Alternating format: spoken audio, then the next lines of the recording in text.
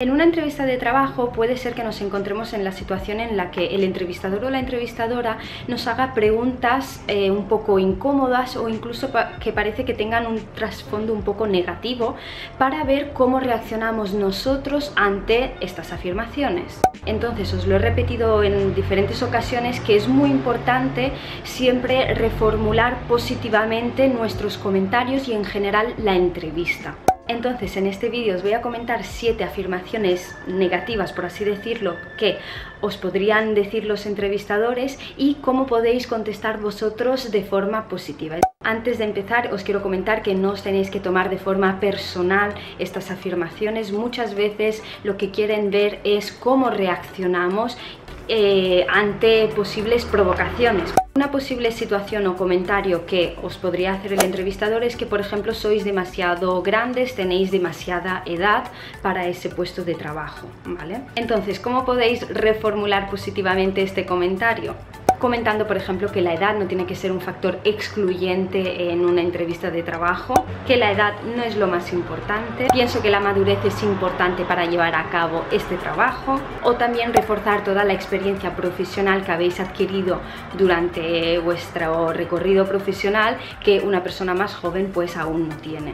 Ahora al revés, que os digan que sois demasiado jóvenes para ese puesto de trabajo. ¿Cómo os podéis defender? Primero de todo comentando que la juventud no es sinónimo de inmadurez, haciendo hincapié por ejemplo en que tenéis los estudios eh, suficientes y requeridos para poder ejercer ese puesto de trabajo, es decir, hacer hincapié en vuestra formación, si la tenéis. Y otro punto muy importante es hablar de vuestra motivación, que justamente el hecho de tener poca experiencia os mm, da muchísima más energía y ganas de empezar a trabajar justamente para poder empezar a tener esa experiencia laboral. Otro que os podrían hacer que es un poco desagradable es mm, por qué estáis optando a ese puesto de trabajo si vosotros tenéis una formación mucho más mm, elevada, por así decirlo. Aquí lo que podríais comentar, por ejemplo, es que ese puesto de trabajo os interesa por las condiciones que ofrecen ya sea una media jornada, ya sea porque solo se tiene que trabajar los fines de semana o es un horario que a vosotros os va bien o también porque os interesa que por ejemplo el contrato de trabajo sea de tres meses porque en septiembre pues empezáis la universidad o lo que sea y ya no os dará tiempo de estudiar y trabajar al mismo tiempo, por ejemplo. Otra afirmación que también nos podrían hacer es que mm, hemos mm, fracasado en los estudios o que vean que tenemos pocos estudios.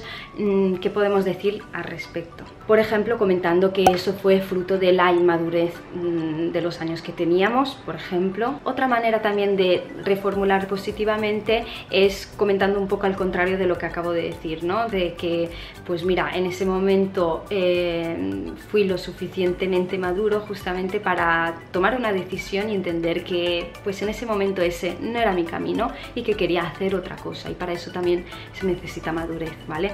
Sé que se puede contradecir un poco con la primera opción, pero es que son diferentes maneras de reformular positivamente. Vosotros escogéis escoged la que, la que más mm, podéis hacer vuestra, ¿vale? Y otra posible opción es que quería empezar a trabajar y empezar un oficio, por ejemplo.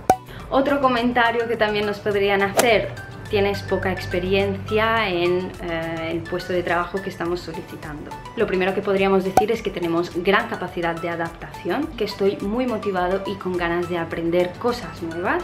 También que tenéis facilidad para asimilar y aprender cosas nuevas. Otro comentario que nos podrían hacer es que nos ven muy nerviosos, ¿vale? ¿Qué podemos contestar a esta, esta frase? Una cosa que podríamos decir, por ejemplo, es que cuando algo me interesa mucho, pues no puedo evitar ponerme un poco nerviosa y un poco ansiosa porque es algo que me interesa. O por ejemplo que cuando estoy a punto de lograr algo que llevo tiempo intentando lograr justamente, pues es algo que me inquieta y que hace que me ponga un poquito más nerviosa. O también podemos ser totalmente sinceros y comentar que el proceso en sí de selección es algo que nos hace ponernos nerviosos, ¿no? Vale, esta otra también sé que es bastante puñetera y que no se debería hacer en una entrevista de trabajo, pero es que todos en algún momento nos hemos encontrado que nos lo han preguntado y es que eh, si estamos casados o si tenemos hijos.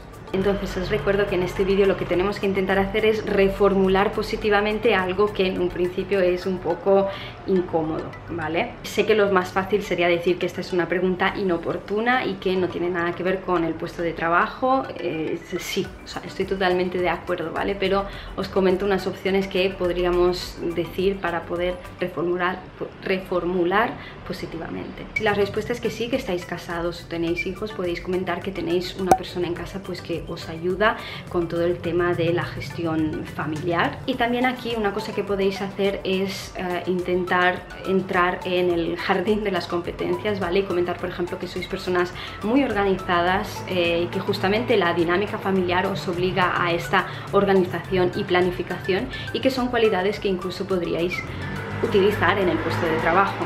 Entonces soy consciente de que hay muchísimas más, pero bueno, yo he querido pensar en estas siete.